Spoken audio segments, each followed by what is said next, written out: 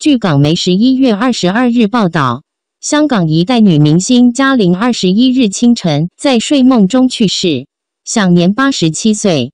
嘉玲的干女儿郭秀云发文公开死讯：“我是昨天早上六七时收到消息，照顾她的护士在半夜发现她在睡梦中离世，当时七爷仍在睡觉。”郭秀云表示，干妈在泰国去世。